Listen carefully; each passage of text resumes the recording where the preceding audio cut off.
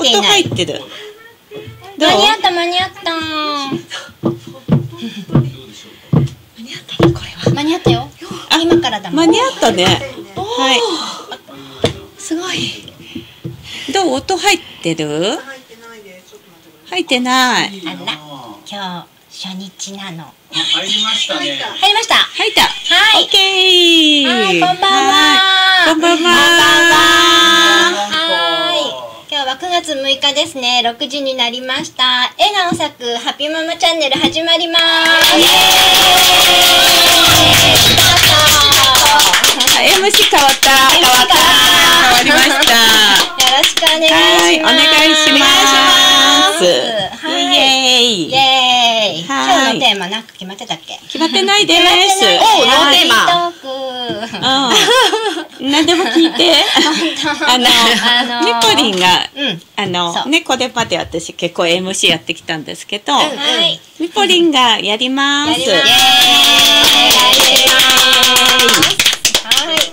じゃあね、そうですね。うんどうだろうな、もうそろそろ秋、もう暦の秋だね。秋ですね。もうあと。うんもううん。4ヶ月もすれば今年も終わってしまうという、うん。そう。早いね。早い。早い。なんか秋っぽさもね。うん、うん朝出てきたよね。涼しくなってきたしね、うん。そう。だいぶね。だいぶね、うん。秋っぽくなってきて、はい。そう食べ物も、秋の食べ物もうん。恋しね、うん食べたくなるシーズンになってきましたね。ううんん、どうですか？今年を振り返って。まだあと4ヶ月あるけど。もそうだね。こっから早いからね。こっからあっという間に年末になっちゃうからね,、うん。こう今年の最初に立てた目標みたいな、うんこういう年にするぞみたいな、そういったのがこう今どんな、なるほど。ああそう8月まで過ごしてきて、うんうんうん何立てたっけかな。そうだよね。ね なんだっけそこだよね。頭。いい年にしたいっていう、ね、ゆかり可愛いね。前髪切って。前髪切ったから。気づいてくれた？そなんかさ少女みたいな可愛くなりたいって思っちゃってね。うん。ね。あ前髪切れば可愛くなれるかなと思ってね 美容院行ってきた。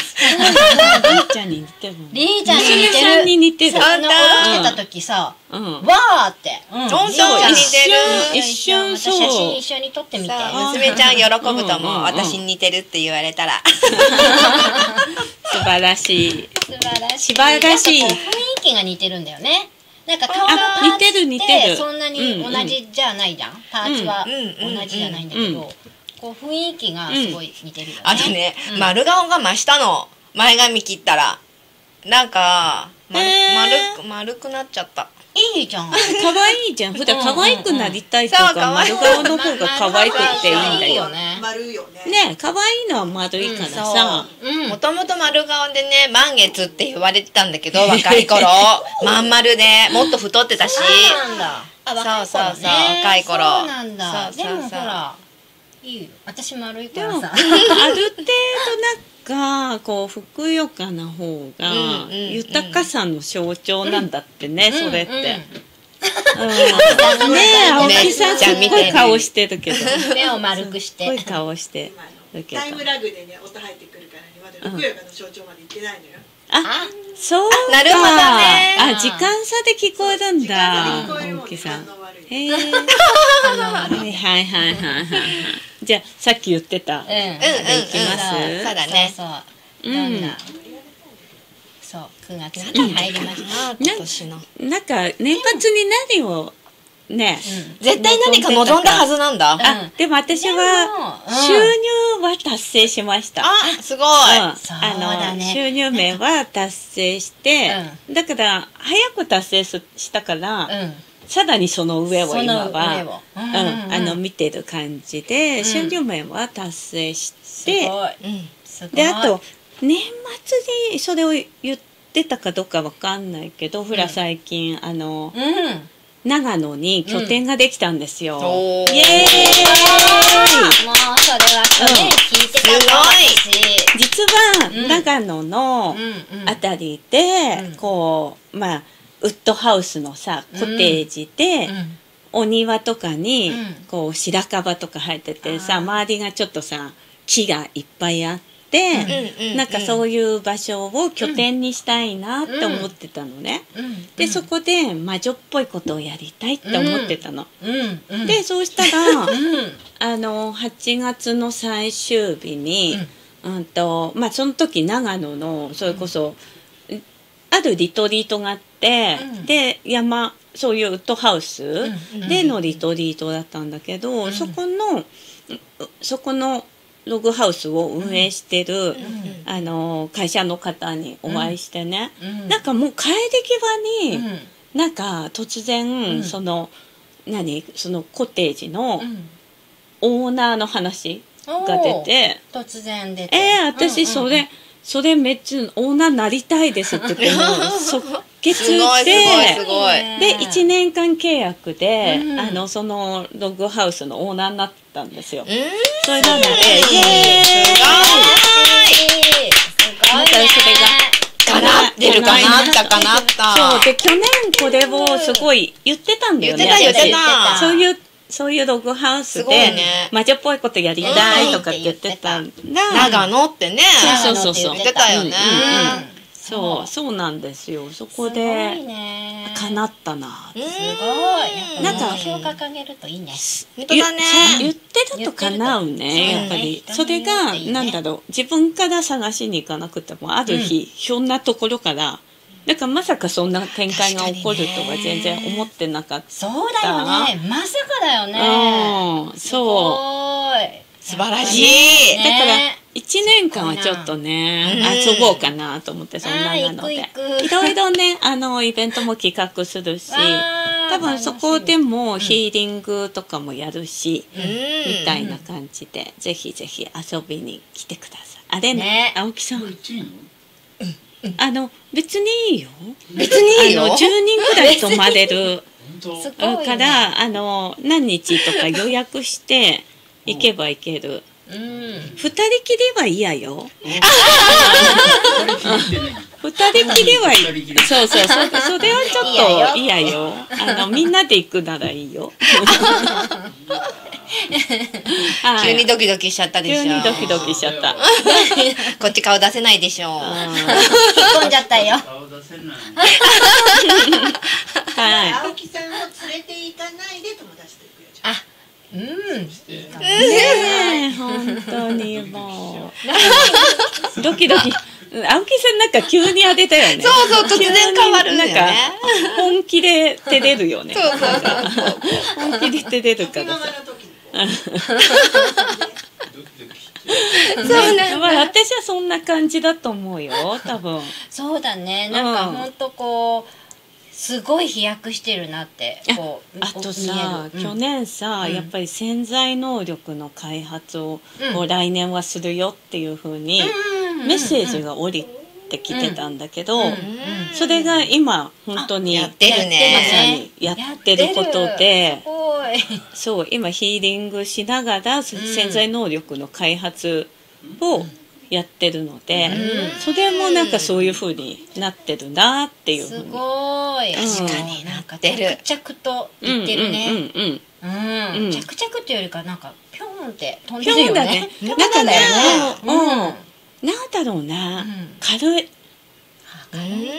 やっぱ人と会う、うん。う人と会う人とご縁をつないで、うん。こう飛んでいくって感じだよね。やっぱポンポンって。そうだね。ね。うん。そうだよね絶そ対ね。れはねすごいわかる。ポンポンだね。ポンポンポンポンポンとねポンポンワープできちゃううねんうん。まあ今さ風の時代早いから、ん。本当に展開が。うん。だから、ううんとね、あの重たいと乗れないんだよねそれが。ああそうだね。そう。こう重たいと。重たいとさ自分が重たいと乗れないからそれうん。が軽くなると、うん。その展開とかにうん。わーって乗っていけるもんで、うん。なんかそのまんま乗ってるみたいな。でもつい最近だともうこれここんなに乗れるようになったのが、多分つい最近のことだと思う。半うんうん年うんうん。そうだね。ね、それまでは乗れたり乗れなかったりみたいなうん。そんな感じだったけど、その秘訣は何だろうね軽くしていく。軽くしていく秘訣か、うん。だからさ最初のうちは、あのやっぱ切切ったものっていうのをこ基本断らず、うん。あの、結構やチャレンジ。あでも断ってたな。でもあのこう人前で話すとかそういうのはうん。断らなかった、それはやるって決めてうん。やってきてて、うん。そう。それともみんでも好きなことだもんね。うんそうそうそう、そうだね。あとはやっぱ日常の、なんていうあ私ってこれ思ったからこういうこと起きたんだっていうのに気づいていくことってすごい大事かなって思うんだよ。あー結構気づいてない人も多かったりするんだよね。うん。だから自覚なかったりとかするんだけど、うん。いやいやって言ってそういうちょっとした変化うん。に気づくことって大事かなっていうふうに思うんだよ気づね。くって大事だしうんね最近のあのディオールのね、うん。話とかね、うん。何それ聞かせて。がこの前言ったやつだよ、あので。あのあああのあの若い男の時にそうねそう、男の人のね、プロのメイクアップアーティストのだか。そうそういうところでさあの願ってたことが起こるわけじゃん。うん。う。ん。その時に、うんわあみたいなさ、そう、んあ、これこの前思ったみたいなね。だからそれうんになんか気づける。アンテナっていうか、そういうのってすごい大事だと思う。そううだね。んうんうん。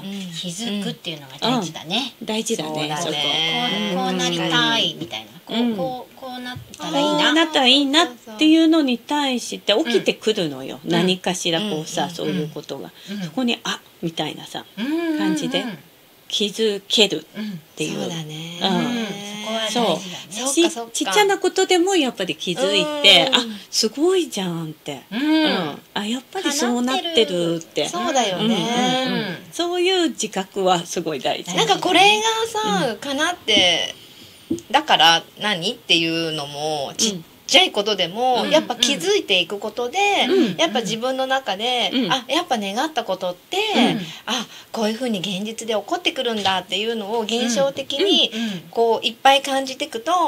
あじゃあもうちょっと大きいことちょっとやってみようかな、うんみたいな、うんうんそうそれでまたこう来たらさ、うん。そうだね。ちょっとずつほら、そうそうやっぱり変わったってね。そうなんだよ、うなんかちっちゃいことが叶った叶ったってやってると、うん。いつの間にか大きいことが叶うようになってるの、楽楽しみそれ。いいね。いい。よねそうそうそうそう、うん。そう。だから最初は刻刻んでいく感じ。そうだうん。いね、きなりボーンって大きな、なんか夢とか目標とか、立てるのもそれは悪くないんだけど、うん。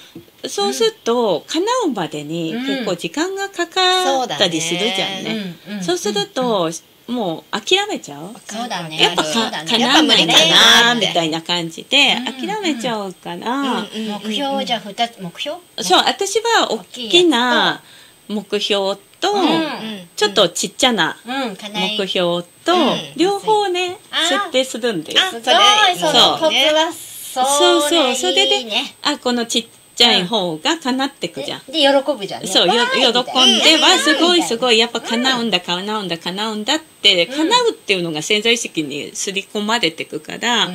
そうすると叶うのが早くなるのね。もう叶うっていう確信？うん。私今日一個ね、うん。もう一個叶ったことあるよ、うん。そういえば、ん。今さほら、うん。聞きに来てくれてるじゃん、うん。エリエディね。私リアルでめっちゃ会いたかったのあ、すご い。そうなんです。よ。そうなのでも今日ほらそう。どこからだっけ？エリーが。あ西の方だったよね、ね。お大阪あの、大阪からね。今日そうなんですよ。大阪からエディ、エディっていうね、私のお友達が、まあヒーリングを受けに来てくださったんですけど、うん、それで、あの、スタジオにも遊びに来てくれてます。はいあの、出たらって言ったんだけど、いや、今日は観覧で、みたいな感じなのでね。ね。うん。はい。ね。あ、すごい、かなってた。叶ったのやすごいったーと思ってすごいあ、さっきさ、エディとやったことで叶ったことあるよね。覚えてる？エディとさ、私の頭上は青空ってやったじゃん。そしたらしばらくしたら本当この辺一帯青空になったおいう。ーすごいすごいすごいさっきすごい降ってたもんね雨。さっきすっごい降ってて。降ってたんだ。降ってたよあ知らんそうなんだね。そう。私の頭上は青空って言って青空をイメージしてそしたらねファーってね青空になったね。すごーい。もうそうやってちょっとずつこう叶えていっくと、うん。そうだよね。もうウキってなるもんね、うん。わーいってね。それをやっていそうそうそう。だからことはさいきなりなかなか難しいと思ってるから、うん。うん。叶いにくいんだけど、うん。ちっちゃいところからなんですよ、ポイントは、ポイントはね。そう。そう。ね。そんな感じ。これはいい話だね。うん。ね。本当だね。ね。え、うん。これはいい話確かに確かにゆ確かりんとかどうなの？そのうん。去年、去年。あ、私はね、さっき思い出出したのはね、うん。去年のね、冬ぐらいにね、多分ね、ともみんと新幹線乗って、おー。どっかね、どまあ、どっかっていうか、まあ、東京なんだろうけど、ね。きっとね。行く時に、うん。あ、もう来年は歌を歌いたいっていう話をしたような気がする。そうだそうだそうだそうだ、そうそう。なんかね、年末そうだね。そう言ってたよね。なんか、みぽりんともいろいろうん話したし。ねえ、うん。それで、うん。そう。だよ。歌かいめっちゃかかなってるそうよね歌通い出して、でなんか歌い出して、うん。でほら今年あであ今月あ先月か、うん。あのコロナで、あのボーカルのレッスンに行けなくて、うん。たら先生から連が先生先生連絡くれて、うん。そうあのいつでもいいからおいでよっていうふうに言ってくれて、うん。ですごいあの演奏の依頼がね、うん。いっぱい入ってるから、うんもういつでも歌えるように、そうあの練習するんだよっていう感じで、うん。そう連絡くれて、そうでちゃんと衣装とか、うん。自分の着たい衣装とか靴とかがあれば、もうまだ予定はく組まれてないけど、うん。もう買っとくんだよって、わすごい。早い。そう言われてて。ーなんか舞台でってこと？なんだろうね、ね、どんなイ演ベント奏の依頼でしょ？そうそうそう。すごいすすごい。ごい。そうなの。すごい。だから始めね。て、そう。1月から始め2て、月くらいからかな？かな。レッスン行き始めたのは、うんうんうんそうそうそう。だから7ヶ月？半年？7ヶ月。で、もうそんな感じなんだ。そうすそうそうそう。ごい。もう用意されてってるね。すごいね。えー、すごい。下手はそうかな。なんかすごいね。すごい。ああとでもあとはさ、うん。まあ、今年に入ってからかわかんないけどさ、うん。まださ叶いきってないけどさ、やっぱさ、うん。自分のさ能力を開花させるっていうのをさ、そうずっとすごいそれはうん。願ってたじゃん、うんうんでもさそれにまつわる出来事っていっぱい起こってきてるから、うん。そっちに向かうためのうん。ともみん。のあのヒーラーのさ、うん。養成コースもそうだし、うん。うん。うん。ね、うん。あの入ってるコミュニティの方も、やっぱそれ、そういうことだし、うん。そうやっぱそこにフォーカス向けると、うん。やっぱそっちの方向にうん。着実に向かっていってるんだなっていうのはすごく感じる。あそうだね。そうそうそう。能力を開花したい。そうそうそうそう。に願ったから、そういう現実にそう。今ある。で、ねこれからね開花していくっていう。開花していく。イエーイ。楽しいイエそうだ、私もなんかうんファンタジーな世界を生きようとかって思ったら、うんうん。結構今ファンタジーじゃん。ファンタジーだね。うん、あの宇宙人と共にヒーリングをするっていうのってかなりファンタジーな世界だよね。そうだね。うん、なんかそこにやっぱり行った、うん。ね、ううん。んうん。ファンタジファンタジー。で平陽星も、んヨガまだヒーリングセッションね、うんうんうん。あの受けてないけど、だね。あの結構ね変化がね、宇宙語 出ちゃったって、出ちゃった。本当に？あ出ちゃったんだって宇宙語エリもなんかエリーの声で宇宙語を聞いたらめっちゃ可愛いだろうね。なんかそれも起きて、うーって伸びして、ふーってなった時に出ちゃうんだって。めっちゃリラッなんかそれいいよね。それうんめっちゃ出やすいかもしれない。やっぱ考えちゃうとん。宇宙語って出せないのうで、そう、ふーって抜けた時に、ふーって で出るのって、ね、それすごいいいと思う。すごーい。うん、あとなんかそうね、関東方面で受けてくださってる方が、やっぱあのセッションの時のインスピレーションが全然変わったっていうのとかあとなんか見えないものが見えるようになったとか、まあ宇宙語を喋り出した人もいるし、うん。なんかそんな感じです今すごい変化がわあいいね。あ宇宙とのパイプが太くなってんだね。うん。みんなね。強くね。いや私もなんかヒーリングセッション中に見えるものがすごい面白くてまあ人によって全然違うんだけどね、うんうん今日もねなんかいろいろ勉強になったね。なんかここで語り出すとさ長くなっちゃうからさ。語れないんだけどなんかすごい方、そうなんだ。すごかった。すごかった。すごかった。すごかったか。片言になっちゃうからすごかった。すごかったか。だから毎回なんかすごいものを私見させてもらってて、へうん。ーまあ過去生とかもそうなんだけど、ん。うん面白いな。うわー楽しみ。楽し。み。楽しみだよね,、ね本当にこうやってみんな開花して。あちなみにさミポリンそうだよミポリン。そうだね、うん。私はねすごいのんびり屋さんなので。で今年はなんかご あのごめんなさい。あの前半はすごく落ち込んでいて。そう。うん落ち込んでいうんてうん。そう。で夏至あたりからちょっとは元気になってきたんだけど、うんそうだね。なんかほんと先週 先週の月曜日？なんだろうね。急にお腹が。先週の月曜日か。そう。先週の月曜日なんまた8 8月月？の末だあね8月のの末？だ末ねそう、うんなんか急に力が湧いてきたんだよね。お腹にうん。ああ言ってたね。そう。あれ？2時半くらい。実感が2時半くらいから。何何もして。る別になんか何かをしたとか何か考えてたとか全然ないんだけど、なんかねすごいねお仕事してる途中で、うん。なんかねお腹がすっごいねお腹の、なんだろう丹田のあたりかな湧いてきすっごいた。湧いてきてなんかやる気に満ちたみたいな、ただなんか8熱くなってきて。月の終わりくらいからうん。上がってきたなと思ったんだよ。あの全体的なエネルエギーが。ネルギーが。うん。うん。それまで結構多分体調崩した人も多いし、うん。精神的不安定な人も多かったし、うん。あのすごかったんだけど、うん。私も結構やられてたんだけど、ん。8月終わりくらいになって、うんああ上がってきたなと思ってさ、本当に？うん。やっぱり？なんうん。かそうかな。みんな私だけじゃなくてみんなそうかなって思ったん結だよ。構ねああのの何もない人ももちろんいるだろうけど、うん結構多くの人が、うんうんそうなんだうね。んなってたと思うよ。なってたんだ。ね。うん。私もなんかそうか。そうなんだよ。だから何か叶ってるとか、まあ、ちょいちょいちょいちょい叶ってたりはするんだけど、ラッキーとか、うん。そう、そういうのもあったりするんだけど大きくあこれが叶ってるみたいなのはあんまりなくて、うんあの、本当に動動かない動かない動かない本当に動きたいんだけどなんかこでもう動けなかったんだよね。それ年回り的に時刻土星はさ後半からじゃん、今年は。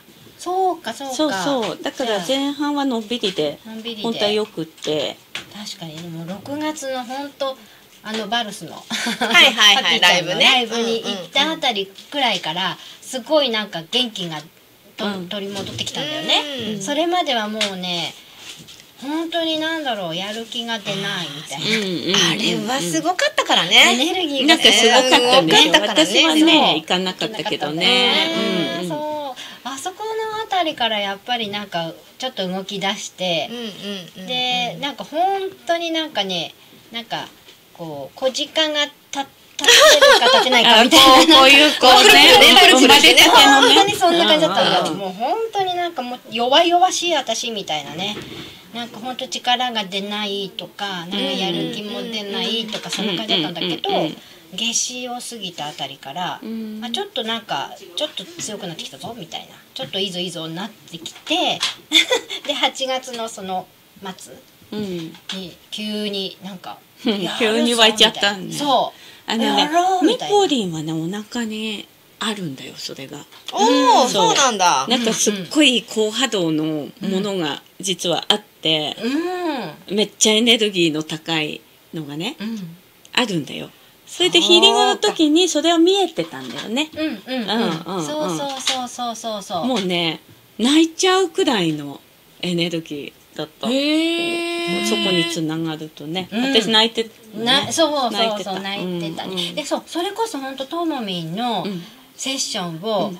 えっ、と7月はやってもらったんだよね。うん。それからそれも加速しそうもうこう,、うんうん。こう上がる要素だったんだよ、もう本当手助けって感じで、それやってなかったらもうまだまだ時間がかかってたんだと思うんだうけど、ん。そう。よかった。でいろいろ撮ってもらったりとかして、そう。で8月もなんかすごいこう落ちたりもしてたんだよね。気持ち的に、そうでなんか上がれない私みたいな感じだったんだけど本当それこそ本当に月末、うんなんかね先週かそうあ学校出てきた出てきた出てきたんだよすごいイエーイニコニおめでとう動きが早くなったんだよもうここから多分早いと思うのでそうもうなんかね、い、ろいろ挑戦とかなんか、うんもうふと思ったこと、うんやってみようみたいなあねそうなんかこ今日の MC もそうなんだよねそうなの、でこの間の土曜日も、あなんか飲み行きたいと思って。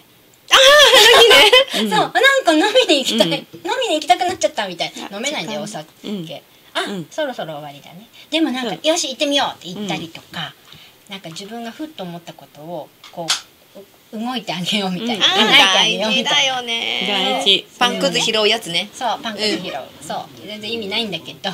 でそれが意味があるんだよね。ね、うん。そうそう。それが意味があるよそう。ねそう、次のコーナーですね。もう26分。うんもう25分までなので。そっか、は次はですね。はい。